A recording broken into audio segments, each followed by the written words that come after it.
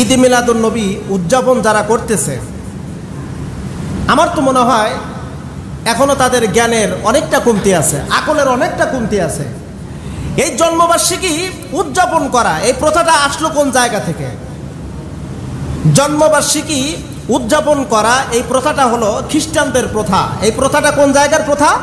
খ্রিস্টানদের প্রথা। গুরুত্বপূর্ণ একটি মাস। এই মাসে বিশ্বনবীর আগমন হয়েছে। এই মাসে বিশ্বনবী দুনিয়া থেকে বিদায় নিয়েছেন। একদিক দিয়ে চিন্তা ভাবনা করলে এই মাসটি আনন্দের মাস। পৃথিবীর আনন্দের মাস হলো রবিউল আউ্বাল রসুল জন্মগ্রহণ করেছেন।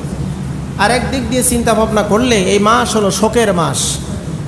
আনন্দ এবং শোক দুইটাই মিশ্রিত একটা মাস, রবিউল আউ্বাল সর্বকালের সর্বযুগের সর্বশ্রেষ্ঠ মহামানব যিনি মাহাম্মদ সাল্লাহ আলিয়া সাল্লাম তিনি এই পৃথিবীতে আগমন করেছেন। এই বিষয় নিয়ে আজ কিছু কথা আপনাদের সাথে আমি আলোচনা করব। রবিউল আউয়াল মাসের করণীয় কি এবং বর্জনীয় কি? বিশেষ করে আমরা দেখতে পাই, সোশ্যাল মিডিয়া সহ বাস্তবিক অনেক জায়গা আমি দেখেছি, নিজেও দেখেছি। গত সপ্তাহে আমি ঢাকাতে গিয়েছিলাম। ঢাকার অলি গলি, রাস্তার মোড়ে মোড়ে লিপলেট ব্যানার, ফেস্টন, পোস্টার দিয়ে সরানো ছিটানো। পোস্টারে লেখা রয়েছে ঈদ মিলাদুলনবী উপলক্ষে চল্লিশ দিনব্যাপী মাহফিল, সিরাত মাহফিল। ঈদ মিলাদুলনবী উদযাপন হবে তিরিশ দিনব্যাপী। অমক দরবার শরীফ অমক জায়গায়। এরকম অনেক লিপলেট ব্যানার, পোস্টার, ছড়ানো, ছিটানো আছে।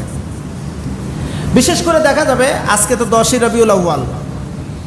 বারোই রবিউল আউ্য়ালে আমার দেশে যা হয়, আমার দেশে যা হচ্ছে, বারোই রবিউল আউ্য়ালে দেখা যায়, চাউল, ডাউল মিশ্রণ করে, খিচুড়ি রান্না করে, তাবারক বিতরণ, জিলাপি বিতরণ, মিষ্টি বিতরণ। এটাকেই অনেক বড় কিছু মনে করে থাকে। আবার কেউ কেউ বলে, ঈদ হলে তিনটা। তিনটা ঈদ, সবচাইতে বড় ঈদ। তার নাম হলো ঈদে মিলাদুলনবী ঈদে মিলাদুলনবী সবচাইতে বড় ঈদ, ঈদে মিলাদুলনবী আমার প্রশ্ন একটা, ঈদে মিলাদুলনবী রসুলের এই জন্মটা, জন্ম উপলক্ষে যে আনন্দ এটা কি সাহাবাই কেরাম করেছে? নবীর জামানা কি হয়েছে? নবী রসুল গণ করেছেন কিনা? কোনো নবী রসুল গণ করেছে কিনা? বা আমার রসুল করেছেন কিনা? এমনকি সাহাবাই কেরাম করেছে কিনা? তাবেইন করেছে কিনা? তাবে তাবেইন করেছে কিনা? সলফে সালিহিনা ইম্মাই মোতাখিনা ইম্মাই মোস্তাহিদিন। এরা ঈদে মিলাদুল নবী উদযাপন করেছে কিনা? যদি না করে থাকে বা কোরআন হাদিসে যদি কোথাও না থাকে, তাহলে এটা হলো চরম ভুষ্টতার বেদাত। চরম ভুষ্টতার বেদাত। এই জন্মবার্ষিকী উদযাপন করা, এই প্রথাটা আসলো কোন জায়গা থেকে? জন্মবার্ষিকী উদযাপন করা, এই প্রথাটা হলো খ্রিস্টানদের প্রথা। এই প্রথাটা কোন জায়গার প্রথা? খ্রিস্টানদের প্রথা। খ্রিস্টানদের প্রথা কোনো মুসলমান গ্রহণ করতে পারে না। যার ভিতরে ইমান আছে, এক সরিষা পরিমাণ ইমান যার ভিতর আছে, সে খ্রিস্টানের প্রথা গ্রহণ করতে পারে না। ঈদ মিলাদুল নবী উদযাপন যারা করতেছে, আমার তো মনে হয় এখনও তাদের জ্ঞানের অনেকটা কমতি আছে, আকলের অনেকটা কমতি আছে। আমার প্রশ্ন হলো, আমি কোনটা গ্রহণ করব, ঈদে মিলাদুল নবী না সিরাতুল নবী? রসুলের জন্মবার্ষিকী আমি পালন করব? নাকি রসুলের জীবন চরিত্র, রসুলের জীবনে আমি গ্রহণ করব। প্রশ্ন হলো দুইটা। আমি কোনটা গ্রহণ করব। ঈদে মিলাদুলনবী রসুলের জন্মবার্ষিকী পালন করব? নাকি রসুলের সিরাত, রসুলের জীবন চরিত্র আমি গ্রহণ করব। রসুলের চরিত্র গ্রহণ করতে হবে। এতে কোনো সন্দেহ নাই। এতে কোনো সন্দেহ নাই। আমি রসুলের জন্মদিন উপলক্ষে আমি মিষ্টি পোলাও খেলাম। আমি মিলাদ কিয়াম করলাম। তাই বলে কি আমার রসুলের প্রতি আমি আশেক হয়ে গেলাম? আমার দেশের কিছু মানুষ আশেকে রসুল বলে দাবি করে। আশেকে রসুল বলে দাবি করে। আছে অনেক মানুষ আছে। অবশ্য আমাদের গ্রামগঞ্জের ভিতরে এগুলো খুবই কম দেখা যায়, বা গ্রামগঞ্জের মধ্যেও আছে। ছড়ানো, ছিটানো। আশেকে রসুল বলে দাবি করে। আশেকে রসুলের চেহারার দিকে তাকালে দেখা যায় মাথায় টুপি নেই টুপি দেখা যায় না। মুখে দাড়ি নাই, সুন্নতি লেবাস নাই। নামাজ কালাম পরে কিনা আল্লাহ ভালো জানে। কিন্তু বারাই রবুল আউ্য়াল যখন আসে, মিলাদ কিয়াম না করলে তার নাকি শুদ্ধ হয় না। আমি মিলাদ কিয়ামের বিরোধিতা আমি করি না। আপনার মন চাইলে করেন, না চাইলে না করেন, সেটা আপনার ব্যক্তিগত হিসাব। তবে একটা কথা বলি, আপনি যদি কোনো মোস্তাহাব আমল যদি করতে চান, তাহলে ফরজ আগে করবেন, ফরজ আদায় করবেন, তারপর আপনি মোস্তাহাব করবেন। আমাদের দেশের অবস্থা হলো, আমাদের, আমরা ম্যাক্সিমাম আমরা মুসলিম, আমাদের অবস্থা হলো, মুরব্বীদের কথায় যে আসল ঘরে বাতি নেই, ঢেকির ঘরে পাঁচটা বাতি লাগাও। আসল ঘরে বাতি নাই, ঢেকির ঘরে পাঁচটা বাতি লাগাও। ফরজিয়াতের কোনো হুকুম নাই, ফরজিয়াতের কোনো চিন্তা ভাবনা নাই, আল্লাহর যে ফরজিয়াত বিধানগুলো আছে, সেই বিধানের দিকে আমাদের কোনো তো তোয়াক্কা নাই, কোনো চিন্তা ভাবনা নাই, কিন্তু মোস্তাহাব নফল নিয়ে আমরা টানাটানি করি।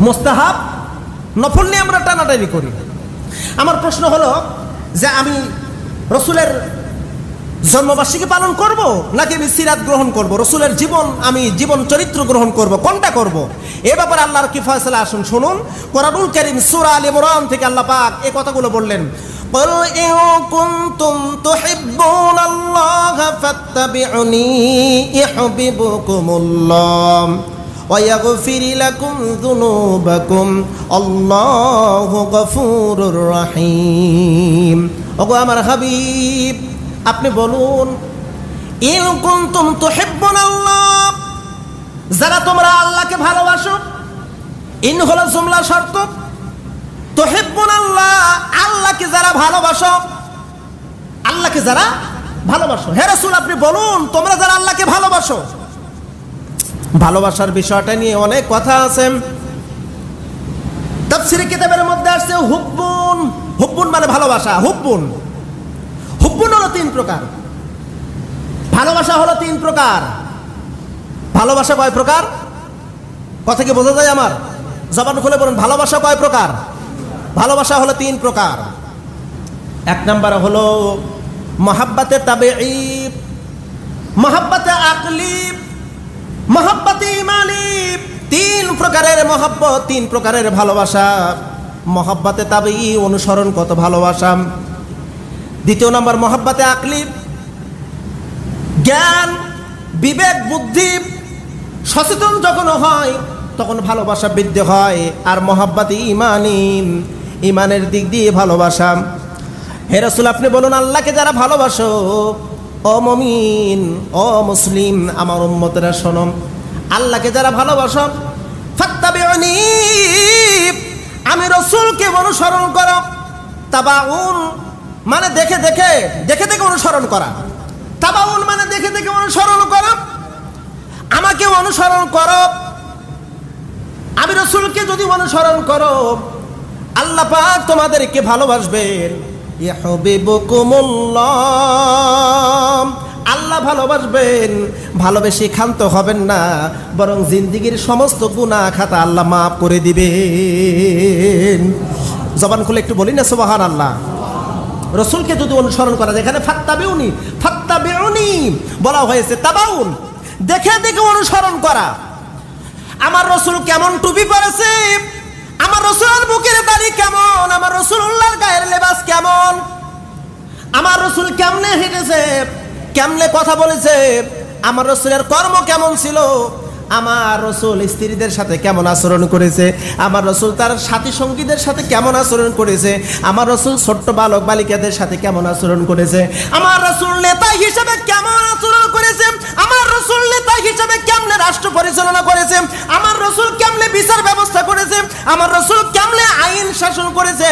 এই কথাগুলো, এই কাজগুলো দেখে দেখে অনুসরণ করার নাম হলো তাবাউন। এগুলো অনুসরণ করা, অনুকরণ করা। মানে একটাও মিস্টেক নয়। এক তিল পরিমাণ মিস্টেক করা যাবে না। একটু সামান্য আপনি কমতি করবেন, হবে না। সামান্য কমতি করবেন, হবে না হবে না। পরিপূর্ণভাবে আমার রসুলকে অনুসরণ, অনুকরণ করতে হবে। কিন্তু বড় দুঃখের বিষয়, বড় আফসোস হয়। আজকে আমরা অনেকে আশিকে রসুল বলে দাবি করি। আমরা অনেকেও বিশ্বনবীর উম্মত বলে দাবি করি, মুসলিম বলে দাবি করি। কিন্তু আমরা রসুল্লাহর অনুসরণ পঙ্খানো পঙ্খানো করতে রাজি না। কিছু করতে রাজি আর কিছু করতে রাজি না। রসুল খাবার খেয়ে মিষ্টি খেয়েছেন, এটা আমরা খুব পছন্দ করি। রসুল সুগন্ধি মেখেছেন, এটা খুব পছন্দ করি। রসুল ভালোবেসে স্ত্রী বিবাহ করেছেন স্ত্রী ছিল, এটাকে খুবই পছন্দ করি। রসুল ডান কাতে শয়ন করেছেন, এটা পছন্দ করি। রসুল ঢিলে ডালা জুব্বা, ঢিলে ডালা পোশাক পরেছেন, এটা পছন্দ করি। রসুল পাগড়ি ব্যবহার করেছেন, এটা পছন্দ করি। রসুল যে রাষ্ট্রপ্রধান ছিল, এইটা পছন্দ করি না। রসুল যে তিনি বিচার ব্যবস্থা করেছেন, এইটা পছন্দ করি না। একামত দিন কায়েম করার জন্য রসুল দন্তল মোবারক শহীদ করলে এইটা পছন্দ করি না। তাহলে বুঝতে হবে ও খাঁটি মুসলমান না। ও খাঁটি মুসলমান না। মুসলিম তো ওই ব্যক্তি রসুল্লাহর প্রত্যেকটা কর্ম, প্রত্যেকটা চিন্তা, প্রত্যেকটা কথা, প্রত্যেকটা কাজ মৌন সম্মতি, নির্দ্বিধায়, বিনেদ্বিধায় গ্রহণ করেছে। সেই কেবল মুসলিম, সেই কেবল রসুল্লাহর উম্মত। কথা আমার নয়, কথাটা আমার আল্লাহর, কথাটা কার? একটু জবান খুলে বলবেন, কথাটা কার?